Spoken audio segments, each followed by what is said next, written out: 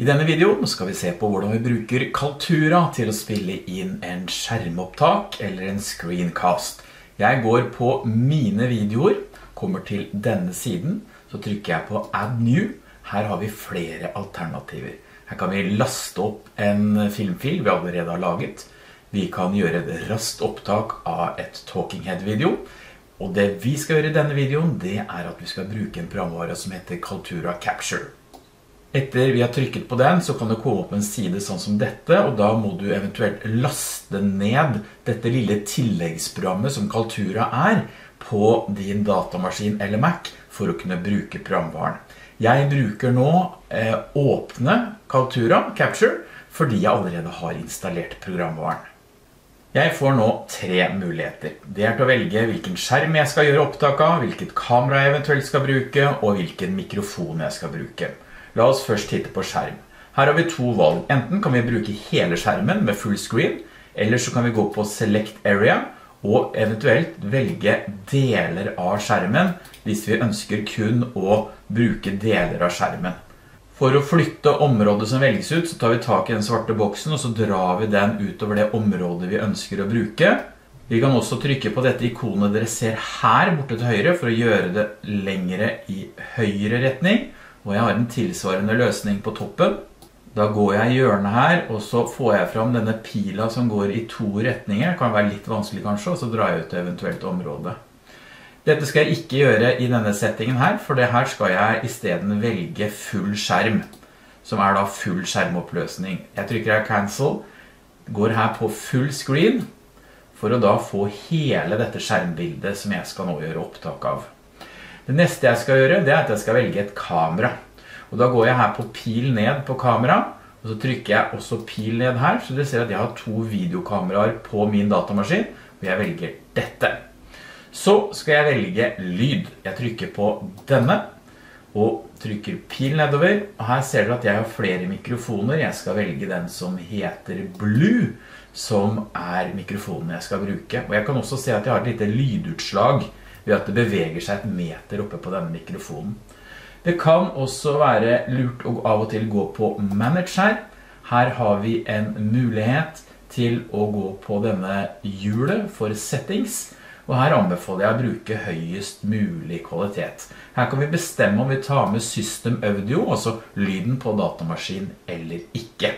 Så trykker jeg Save når jeg har gjort disse valgene og da er jeg tilbake for å gjøre meg klar til opptak. Da må jeg gjøre klar i bakgrunnen hva jeg skal ha for noe. Jeg eksempel maksimerer dette vinduet, tar så ifram dette opptaksvinduet mitt igjen. Dette kan jeg dra over på en annen skjerm hvis jeg har flere skjermer videre. Eh, jeg skal nå begynne å spille inn, og trykker da på record. Nå har jeg altså valgt å ha med også et såkalt Talking Head-videobilde. Hvis du ikke ønsker det, så trykker du her, og da blir det ikke noe kamerabilde med på opptaket. Men jeg ønsker det, så da tar jeg dette på igjen. Og så trykker jeg på Record.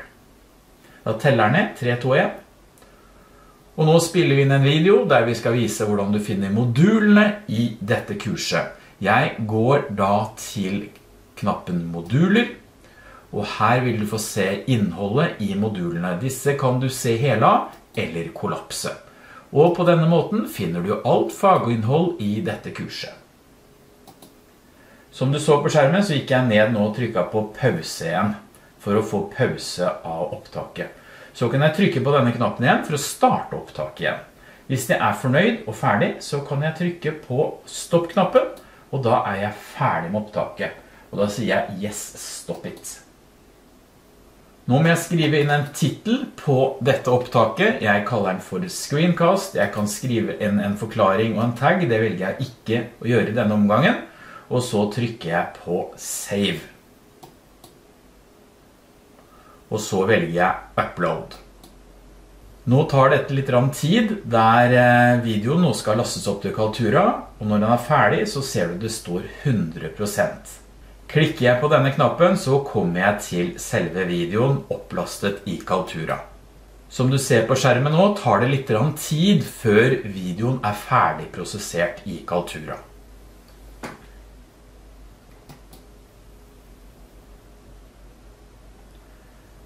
Du så at jeg trykket på click here to refresh for å få se selve videoen. Nå kan det hende at du synes at den videoen er litt dårlig kvalitet, men bare vent litt tid, og så vil den rendres til topp kvalitet. Det tar noe tid. Så er spørsmålet, hvordan deler du nå denne filmen med andre? Jo, du går bort til høyre på der det står Actions, og så velger du Publish. Så går vi ned, og så velger vi fra at den skal være privat til at den skal publiseres. Og da må vi definere hvilke kurs som skal få tilgang til denne videoen. Og den blir da liggende i kursets videoer. Så trykker jeg på Save for at dette skal fungere. Etterpå kan du gå tilbake til mine videoer i Canvas, og du vil finne videoen. I og med at du har publisert den også for et kurs, så kan du gå inn i kurset og gå inn på emnets videoer, og du vil også se at den videoen vil være tilgjengelig i selve kurset du har publisert den til. Videoene kan selvfølgelig også embeddes ut på ulike sider i kurset. Det gjør du ved å trykke på Screencast, selve filmen jeg akkurat laget, og trykke deg inn på den. Så har du en mulighet til å trykke på Share. Så får du en såkalt embed-kode, den kopierer jeg ved å trykke Ctrl-C på en PC eller Command-C på en Mac. Så går jeg til et kurs der jeg har laget en modul, der lager jeg nå en ny side. Trykker på denne plussen, velger side, velger ny side, kaller den for screencast, trykker legg til punkt, trykker meg inn på selve siden, trykker på knappen rediger oppe til høyre, går inn på siden, her kan jeg skrive inn vanlig skrift, men jeg kan også gå her på HTML-koden og trykke på denne knappen, gå inn på en tom linje, trykke Ctrl V, og så kan jeg lagre og publisere, eller jeg kan også se på hvordan det blir seende ut her først, trykke på denne knappen igjen, og da ser vi at videoen er lagt inn. Og jeg trykker nå på lagre, og denne videoen er nå plassert inn på selve siden. Husk på at man kan bytte visningsmodus her inne i Kaltura når du ser på videoen. Dette er brukerstyrt.